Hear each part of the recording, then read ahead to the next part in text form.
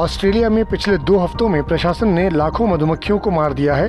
आप सोच रहे होंगे कि ऑस्ट्रेलिया सरकार ये कदम क्यों उठा रही है?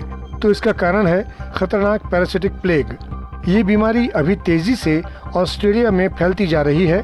बीमारी न फैले, इसलिए ऑस्ट्रेलियाई सरकार ये कदम उठा रही है।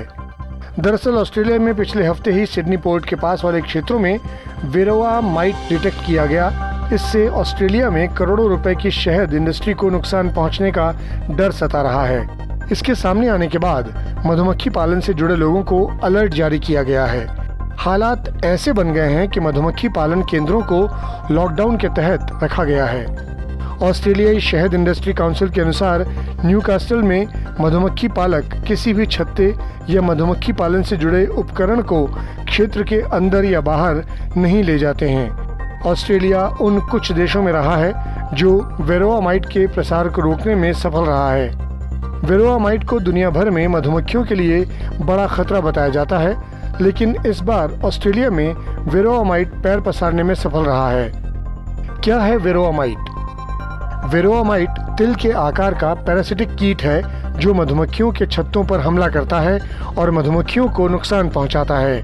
ये लाल भूरे रंग का होता है ये छोटा सा कीट मधुमक्खी पालन को तबाह करने के लिए काफ़ी होता है। ये मधुमक्खियों से ही दूसरी मधुमक्खियों तक पहुँचता है या मधुमक्खियों के पालन में इस्तेमाल होने वाले उपकरणों से एक जगह से दूसरी जगह पहुँचता है।